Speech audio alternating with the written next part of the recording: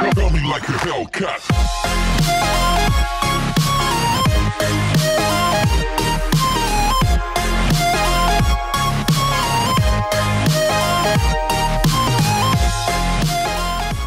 Hello guys welcome back to a new vlog and welcome back to the channel जैसा कि आप सब देख सकते हो, आज हम कोई राइड पे नहीं जाने वाले। आज हमारे पास एक स्पेशल चीज़ है अनबॉक्स करने के लिए। एंड ये बॉक्स है एमटी की तरफ़ से। So straight to the point मैं बता देता हूँ कि मैंने एक नया हेलमेट परचेज़ किया है। एंड ये एमटी की तरफ़ से है। नया मॉडल है। बहुत ही अच्छा लग रहा है। एंड मेरा ये हेलमेट परचेज़ करने का रीज़न यही था कि मैं ये मेरा वाला हेलमेट ना दो साल से यूज़ कर रहा हूँ एंड ये थोड़ा पुराना हो गया है। एंड जो मैं यूज़ कर रहा हूँ ना, वो एक्सोर का हेलमेट है, ठीक है?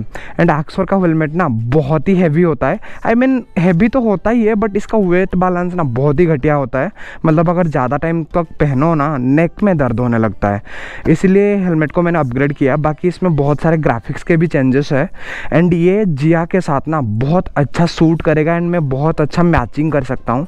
सो so, ये बॉक्स को तो मैंने पहले खोल लिया था क्योंकि अगर पार्सल बाहर से आया तो फिर चेक करना बनता ही है। बाकी अब आपके सामने अनबॉक्स करेंगे एंड देखेंगे बॉक्स में क्या क्या आता है। So here is the box and ऐसे ब्रांडिंग रहता है एमटी का बॉक्स के चारों तरफ़। बाकी ये हेलमेट मैंने पुणे से मंगाया है क्योंकि अब ऑनलाइन में किसी जगह पर स्टॉक नहीं था एंड हमारे उड़ीसा में भी कहाँ पर नहीं था क्योंकि नया मॉडल है ना थोड़ा स्टॉक का प्रॉब्लम रहता है। So let's open it okay so पहले हमें ये मिला है। आई थिंक ये स्पॉयलर है हेलमेट का। ओके okay, हाँ।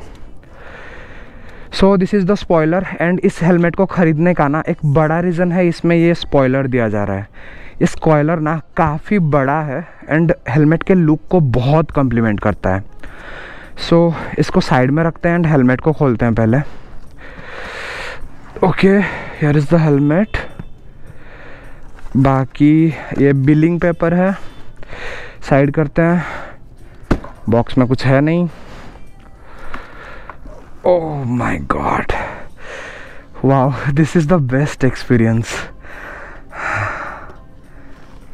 oh my god just look at this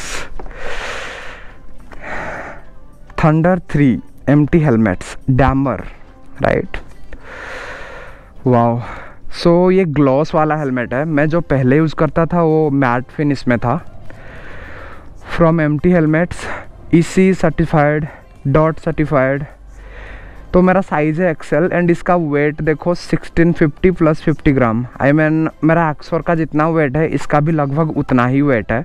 but ना इसका वेट डिस्ट्रीब्यूशन इतना अच्छा है कि अगर मैं इसको पहनूँगा ना मतलब वेट फील नहीं होगा इतना. अगर एक्सोर पहनता हूँ ना तो मेरे गले में बहुत दर्द होता है नेक में बहुत दर्द होता है. बाकी ये है एमटी का थंडर थ्री और क्या मिलता है? एक छोटा सा पैकेट है, इसमें क्या है देखते हैं।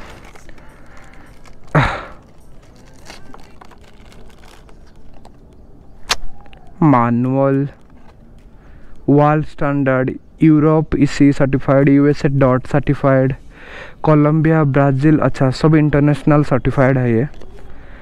बाकी इसमें एक्सोर की तरह कुछ स्टिकर्स नहीं मिलते, बस ये एम टी हेलमेट्स का एक स्टिकर मिला है छोटा सा बट एक्सोर में बहुत सारे स्टिकर्स मिलते हैं एंड एक ब्लड ग्रुप का भी स्टिकर मिलता है। लेवेट एमटी में जो मिला है तो मिला है साइड में रखते हैं।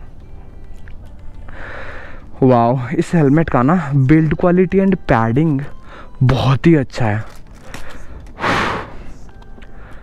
ओके एंड सामने तरफ़ एक छोटा सा वेंट दिया गया है एयर फ्लो के लिए। एंड ये वेंट ना एक्सोर से बहुत ही ज़्यादा अलग एंड अच्छा लग रहा है।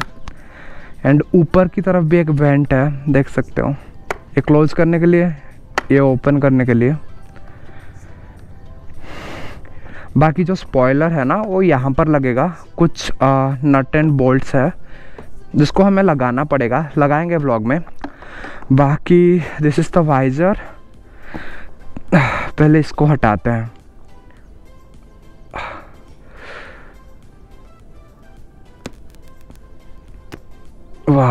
दिस फीलिंग इज़ ना out of this world and unboxing करते वक्त ना, ये रैपिंग हटाने का फील बहुत अच्छा होता है। डैम ये एंटी स्क्रैच वाइज़र है एंड इसमें फॉग वाइज़र नहीं मिलता, ठीक है? यहाँ पर दो पॉइंट्स दिए गए हैं। अंदर की तरफ़ हम फॉग वाइज़र लगा सकते हैं बट कंपनी से मिलता ही नहीं है। बट ये एंटी स्क्रैच है सो स्क्रैचेस इतने नहीं पड़ेंगे। एंड इसको हटाने के बाद, चलो। और यहाँ पर ये जो लॉक है ना, ये सनवाइजर को अप डाउन करने के लिए लाइक देख सकते हो। वाह ये मैकेनिज्म बहुत अलग है अक्सर से। इसको भी हटा देते हैं। Sun visor removable sun visor one hand controlled oh blah blah blah wow and इसमें इस तरह का लॉक दिया जाता है। एक्सोर में एक पिन टाइप का लॉक होता है बट इसमें ऐसा नहीं है।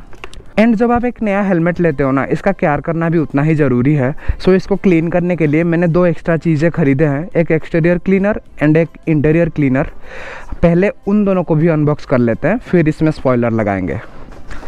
इसको साइड में रखते हैं। And here is the thing इसको भी मैंने थोड़ा खोल के देख लिया था। Ah. Okay right. So this is from motul. Helmet and visor cleaner. Motul m1 right? And this is helmet interior cleaner Motul M two and मैंने मोटुल का प्रोडक्ट इसीलिए चूज़ किया क्योंकि एक्चुअली मोटुल के प्रोडक्ट्स के ना quality बहुत ज़्यादा अच्छे होते हैं एंड इनके साइड इफ़ेक्ट्स कुछ नहीं होते अपने हेलमेट में। लाइक like अगर किसी और का प्रोडक्ट यूज़ करता हूँ ना हेलमेट में मतलब उसको कलर ना थोड़ा थोड़ा फेड होने लगता है एंड थोड़े थोड़े क्रैक्स आने लगते हैं बट मोटुल के प्रोडक्ट्स में ऐसा कुछ भी नहीं होता। सो so, इसको हमें ऐसे स्प्रे करना पड़ता है राइट ऐसे स्प्रे करेंगे इसका सील टूटा नहीं है। जब यूज़ करूँगा इसका सील तोड़ूँगा। बाकी अब टाइम है स्पॉइलर लगाने का। सो so, हेलमेट को लाते हैं एंड पीछे से ये जो बोल्ट्स है ना इसको पहले अनस्क्रू करना पड़ेगा। अरे यार। इससे होगा कि नहीं मुझे डाउट है। ओके okay, हाँ।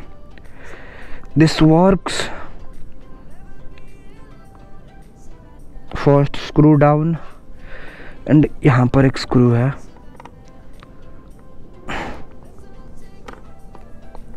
ग्लॉस हेलमेट में ना डर यही रहता है कि स्क्रैचेस बहुत ही जल्दी पड़ते हैं।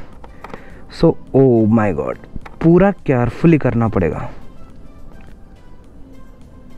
Okay second screw down honestly मैं और एक चीज़ बताऊँगा, इस हेलमेट में मुझे सब कुछ अच्छा लगा बट ये स्पॉइलर का ना क्वालिटी कुछ ज़्यादा ही अच्छा नहीं लगा मुझे, क्योंकि अंदर के साइड ना पेंट हुआ ही नहीं है। राइट आई नो ये अंदर के साइड कोई इतना देखेगा भी नहीं बट फिर भी लिव इट जो मिला है सो मिला है। ओके okay, इसको सेट करते हैं। राइट सो ये टाइम है स्क्रू लगाने का। माय गॉड नहीं नहीं नहीं नहीं नहीं नहीं नहीं ये अंदर घुसेगा तो निकालने में बहुत ही प्रॉब्लम होने वाला है। Okay okay.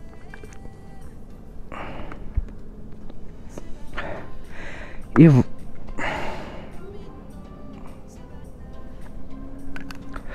अब ये स्पॉइलर लगाने के बाद ना, इसका लुक पूरा बदल ही जाता है। रुको, आप सबको दिखाऊँगा अभी मैं।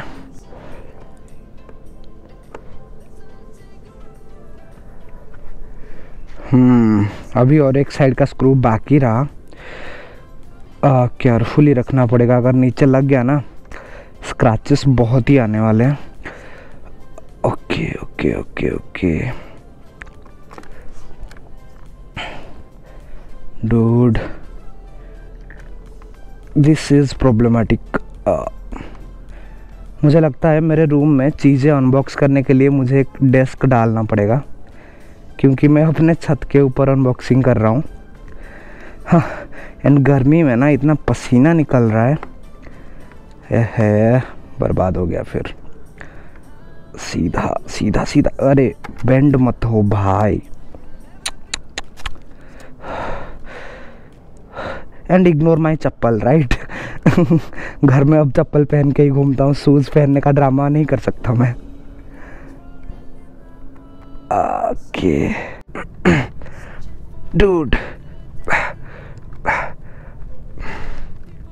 Okay. लग गया है पूरा and here is the final look right